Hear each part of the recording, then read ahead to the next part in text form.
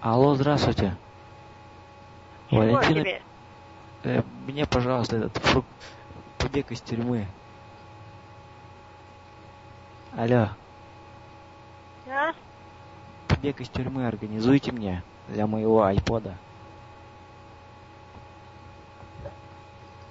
Алло, Чего тебе?